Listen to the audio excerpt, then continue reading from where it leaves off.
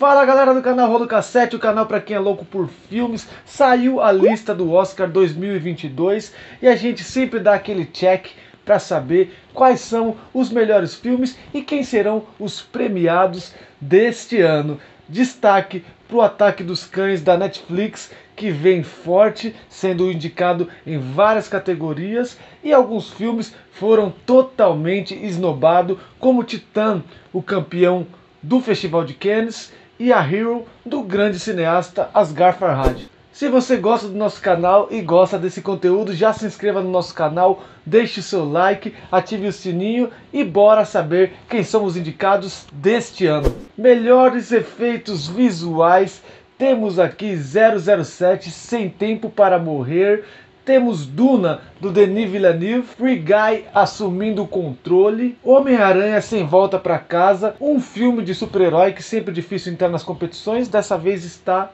entre melhores efeitos visuais, e Shang-Chi, a lenda dos Dez Anéis. Aqui é onde eu acho que Duna irá levar o seu prêmio, pois Duna vai ser bastante indicado, mas acredito que não vai levar muitos prêmios. Melhor direção de arte, temos Duna novamente, temos o Beco do Pesadelo do Guilhermo Del Toro, Ataque dos Cães, A Tragédia de Macbeth de Joel Cohen.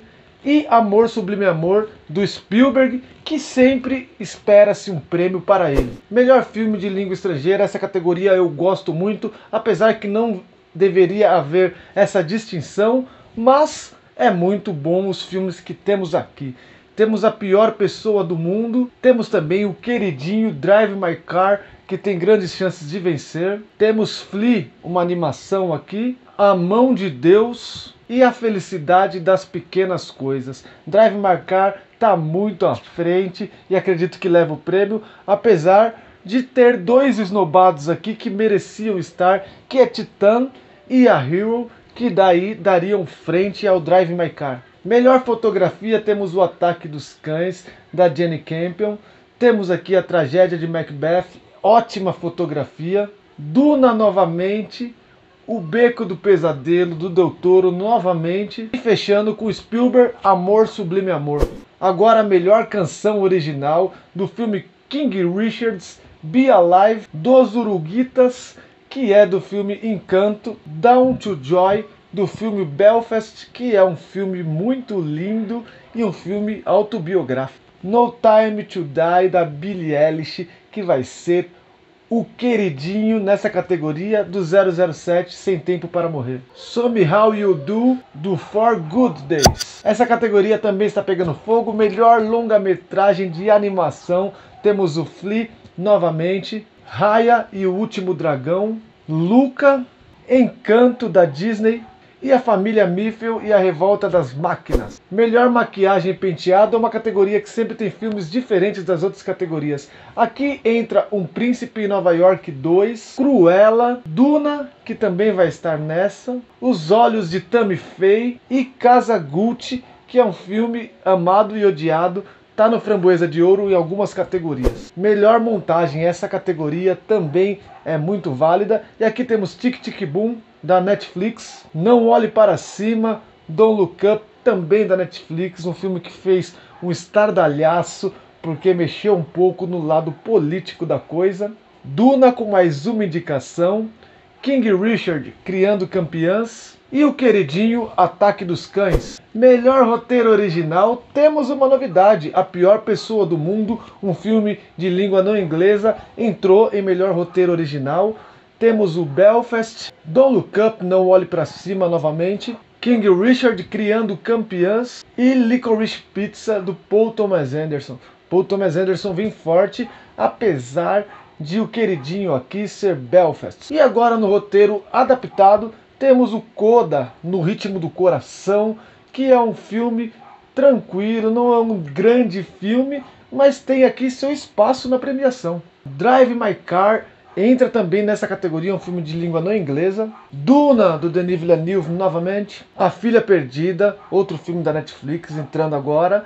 E Ataque dos Cães, que realmente tem grande chance de levar mais essa. Melhor trilha sonora, entra aqui Almodóvar, Mães Paralelas, entra Encanto da Disney, Ataque dos Cães novamente, Duna novamente e Não Olhe para Cima. Melhor mixagem de som, 007 Sem Tempo para Matar, Duna, Belfast, Ataque dos Cães e Amor Sublime Amor, que por ser um musical e também retratar o grande clássico do passado, fazer esse remake, tem grandes chances de levar essa. E agora o figurino. Figurino temos Cruella, temos Cirano chegando pela primeira vez aqui indicado, Duna, O Beco do Pesadelo e O Amor Sublime Amor novamente. E agora os diretores Kenneth Branagh com o Belfast, um filme autobiográfico, está indicado. Hisuki Hamaguchi com o Drive My Car, o filme do Japão, também indicado em melhor direção. Paul Thomas Anderson, o grande diretor, com Licorice Pizza. Aqui a diretora para representar essa categoria é Jenny Campbell com Ataque dos Cães e é a favorita. E o Spielberg com Amor Sublime Amor. E agora, melhor ator coadjuvante. As interpretações foram legais esse ano. Temos o Claron Rinds por Belfast, Troy Kutzer no Ritmo do Coração, o Coda, ele está muito bem e eu gostaria que ele levasse. Rezé Plemons por Ataque dos Cães, também bem na disputa. J.K. Simmons por Apresentando os Ricardos. E Cold Smith McPhee também por Ataque dos Cães. Ataque dos Cães tendo dois atores coadjuvantes indicados. Melhor atriz coadjuvante, começaremos com Jessie Buckley, que fez um papel incrível em A Filha Perdida. Ariana Debussy, por Amor Sublime Amor. Judy Dent, por Belfast, tá muito bem. Kristen Dust, a queridinha aqui. Estamos falando novamente do Ataque dos Cães. E Algenu Ellis, por King Richard, Criando Campeãs. Agora a categoria de atuação principal,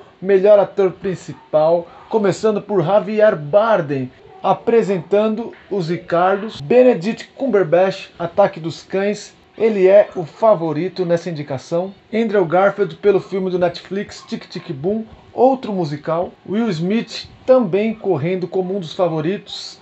King Richard criando campeãs. E o Denzel Washington, nunca para trás, em A Tragédia de Macbeth de Joel Cohen. Melhor atriz principal, temos a Jessica Chastain, que está muito bem, nos Olhos de Tammy Faye, Olivia Colman por A Filha Perdida, Penelope Cruz por Madres Paralelas, Nicole Kidman apresentando os Ricardos, uma das favoritas, só não é a real favorita porque temos Kristen Stewart fazendo Spencer, que é um filme ótimo de Pablo Larraín. E para finalizar, a categoria principal da noite de melhor filme, temos o Belfast que vai vir muito bem, Coda no Ritmo do Coração.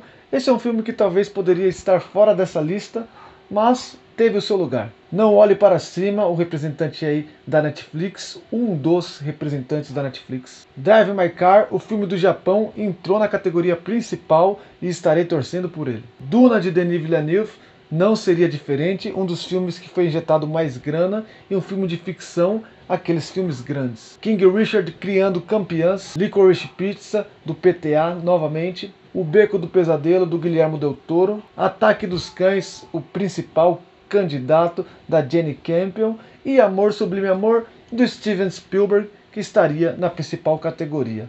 Então é isso. Se você gostou de saber quem foram os indicados desse ano do Oscar, não deixe de participar do nosso canal se inscrevendo e deixe seu like. Valeu, galera. Até o próximo vídeo.